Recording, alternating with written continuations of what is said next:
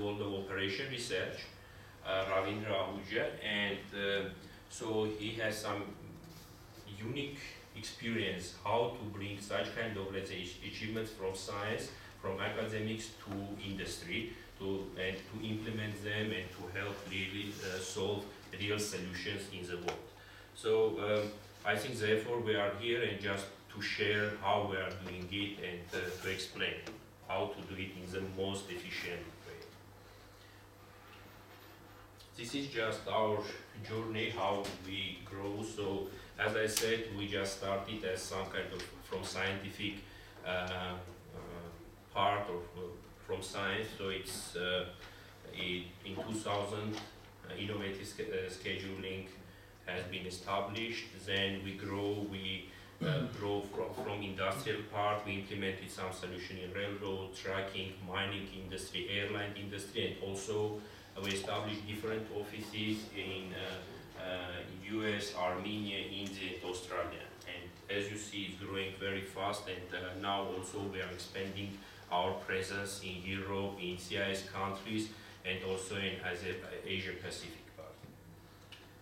Uh, it's uh, very important that uh, you understand that as long as we have, we need to use some scientific achievements, some operation research, cutting edge technologies. So it's very important to have people who can implement it. And if you see, so we have 50 plus PhDs in our company uh, who helps us to build such kind of successful solutions for different industries. And uh, also we are really multinational uh, company with multinational cultures, mix of cultures, but it uh, uh, we are capable to really bring these multinational cultures in, uh, manage it in most efficient way. And therefore, I think it's key of our success. Uh, as I said, we need to have hybrid or mix of different, let's say, uh, um, technologies, fields, like transportation and logistics, like operation research, computer science, project management, data analytics, information technology, and you need to, it's some kind of interdisciplinary uh, field, so you, field, so you need to mix it and really, in order to build more or less successful solutions for uh, uh, real industry in transportation. Uh, so I think uh, my colleagues uh, will uh, describe real cases from airlines and railroad, but also we have presence in trucking industry and also mining industry. And if you see how many disciplines, how many types of expertise experience you need just to implement such kind of solutions, it's really amazing. Uh, so I would like to give floor uh, to Shama so he will describe or will present airline case study. I think it will be very interesting. Thank you. Okay, so this airline case study is actually uh, not only the first one that we did as a company, but it's actually one of the most important and difficult problems that an airline must solve. So the business problem. I don't like reading slides, but I feel like I must read this one because it's very important. The business problem is to maximize an airline's total net network profitability by determining the best flight departure time, the best fleet type, and the optimal routings to minimize the number of aircrafts. That's a mouthful, so let me walk you through that. Let's look at this example right here. So we have an A330. It leaves JFK at 1 a.m. Um, it's an overnight flight, and it gets into Moscow at 5:20 p.m. the next day. And then um, it sits on the ground for about an hour, and then it comes to Armenia. Woohoo! Came from uh, New York all the way to Armenia. Can anybody guess what um, airline operates this route? This is based off a real airline. Two airlines, Ukraine airline and Air Force. Czech Airlines. Half right. Austrian Airlines? Aeroflot. Airport. Correct. Um, I have actually flown a route very similar to this uh, four times coming to Armenia.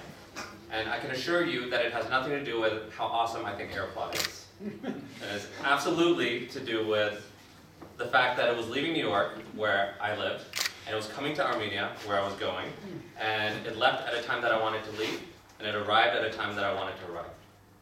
So you can see how important this is, right? Now, why did they choose an A330? Why that fleet type? Why not an A380? Why not pick a bigger plane? Why go with an Airbus at all? Why not go with a Boeing 777? I mean, the airline, larger airlines have large fleets, so they can assign any plane to this flight. Or Maybe want it to be more frequent, the flights? um, how would the A380 be less frequent, or Boeing You 777 be? fit, less- you know, all the people, so there, there may be free places in their aircraft. Okay, so uh, capacity, right? So larger planes um, can house more people. Great. Um, why one? Why leave at one? Why not leave a little bit earlier and maybe I get into Moscow around noon and catch my lunch meeting? Why not? Why not leave later? Why why get into uh, Moscow around 5 p.m.? I don't have anything to do that day. I would rather sleep in in JFK, spend more time partying in New York, and then catch and sleep through my flight, and getting to Moscow and then do whatever I want.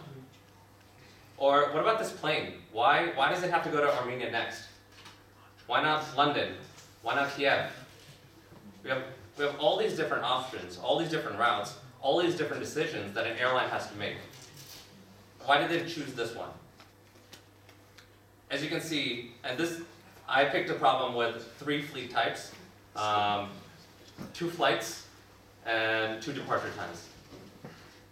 But a large airline with hundreds of planes, um, thousands of markets, um, you can see the problem gets to be very large. So optimal flight times, that's actually one of the biggest challenges that an airline must uh, solve. So everybody has their own time of day preference, right?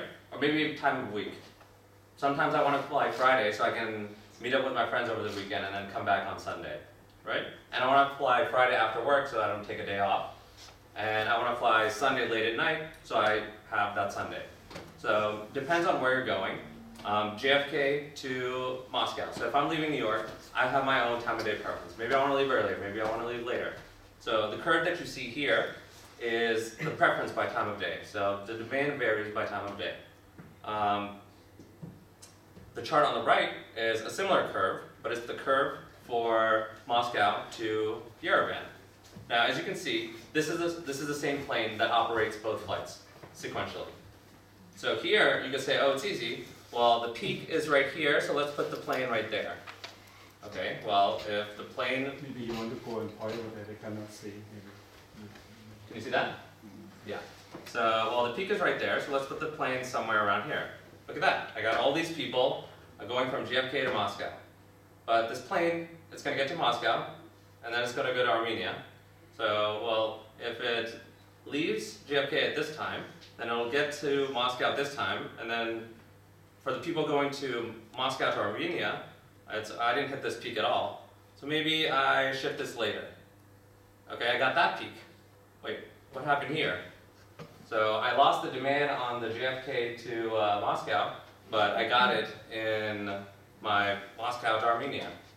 So you can see just simply this two, this two market problem, one departure time, can have a major impact on what you really get as your demand. And that's just the departure time. There's also the fleet type. So the gentleman in the back excellently um, mentioned that you want to match capacity to demand. So the last thing an airline wants are empty seats, right? Empty seats, are, they just take up space.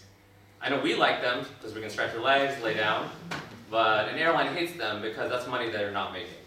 So what they want to do is, if they have 70 people flying on that flight, they want to put a plane with exactly 70 seats. So they want to minimize spill and minimize costs. Connections. This is a critical factor, and this is what makes this problem extremely complicated. So, what do you, do you buy flights? Do you buy flights? Yeah. Ticket, yeah, ticket. Yes. Yes. Do you buy you when you when you go online? Um, do you say do you search for a flight or do you search for a trip to go from point A to point B, which might touch multiple flights? An itinerary, exactly. So what we really buy, the money that really comes from, is not from the flights. It's actually for itineraries.